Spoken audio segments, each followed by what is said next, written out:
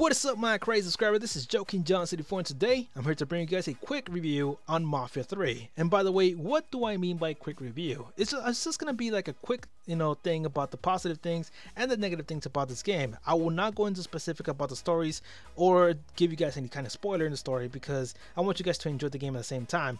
So anyways, the positive things about this game has to be the story, the character development, and the soundtrack. The soundtrack is pretty much smooth. I don't mind you know, listening to classic music. It's alright enough for the era, so it's gonna make you like immerse into the world a little bit more. Uh, the character development is pretty much impressive. You get to know every single character out there that you face in the missions. Like, uh, okay, you kill this guy because you know he did this, this, and this, and then you're like, whoa, you know, why the fuck is he here? You know, it's really interesting. And also, you get to know Clay more better. You get to know why he's fighting for. You get to know his background.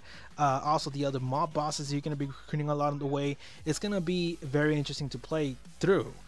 Uh, another thing is the story. The story just gets better along the way, guys. I'm not. I don't want to spoil it all, but I'm. All I'm just gonna say is just play the story, man. It just goes into very good details. Another thing, the environment presents you with the greatest discriminatory game of all time. Like you go into a bar and then the freaking bartender kicks you out because there's a sign outside that says no blacks allowed or only whites or whatever. And that's how it is most of the bars here in this game. Like it's New Orleans, goddammit. How come I'm not a, you know allowed to go inside? Like what the fuck?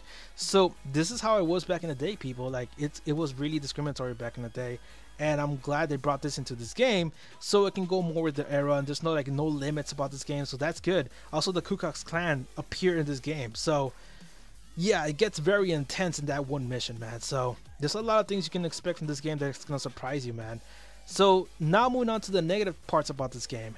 There are a lot of bugs and glitches a lot of things that are really gonna like take you away from this world and you're gonna be like why am I even playing this fucking game? So if you guys have noticed in the in the gameplay in the background, there's uh, there's always some few bugs and glitches going on. Also, some things that really piss me off.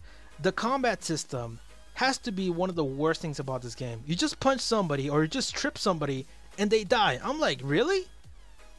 Am I a god in this game? What am I? what am I just to punch somebody in the gut and for them just to fall down the floor? Like really? Not even GTA 4, GTA 5, or any of the GTAs allow you to kill anybody with one punch. Yes, there I know there's an anime called One Punch, but come on, man. Even freaking Captain Kirk had more of an action compared to this game.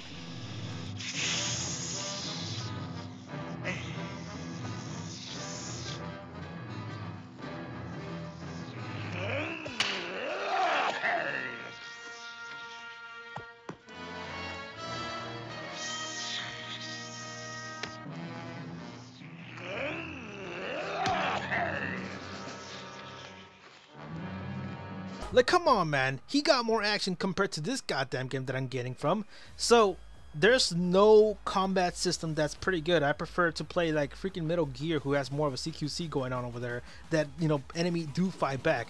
Another thing that pissed me off about this game has to be the goddamn AI. It's too easy to kill them all. Like for example, if you get chased by a cop, they're not gonna chase you for very long. They're just gonna get stuck somewhere and they're gonna stop chasing you and get away pretty much easily. You kill somebody in front of a cop, they don't even do nothing. You should have seen that in the beginning of the video too. Uh, there was some moments where I just killed a woman and they, they didn't do anything. I just pushed her down to the floor and she died and the cops didn't do shit. Another moment had to be when I stole the cashier. Like the pedestrians didn't react. Nobody reacts in this freaking game. I'm like, this Saints Row all over again. So I don't know, man. I hate the AI. I hate that there's no challenge in this game. The shooting is pretty much generic. You know, I have the same thing with the Division. The Division has more impact compared to this goddamn game, and there's no freaking cars, by the way.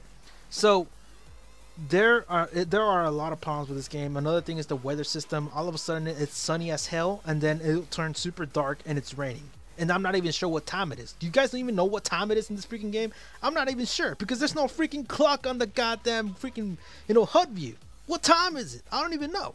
Another thing, the map in the bottom right corner. I'm thinking like, is this fucking GTA?